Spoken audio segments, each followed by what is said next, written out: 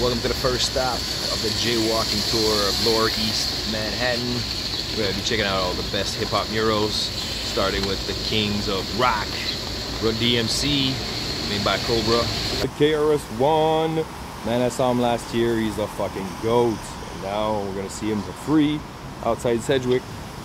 There's the new LL Cool J by Zimmer and NYC. So excited, I didn't know this was here. So yeah. Yes, coming back for exactly this for the 50th.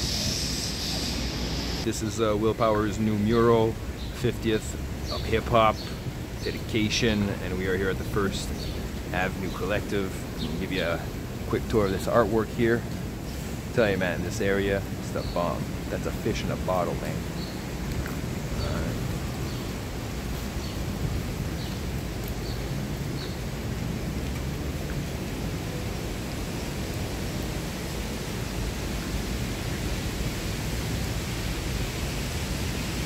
Fucking crazy precision.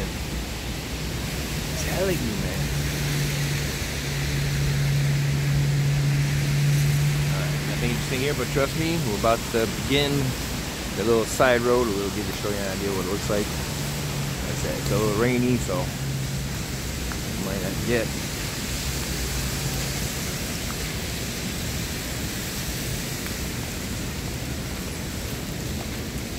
Yeah.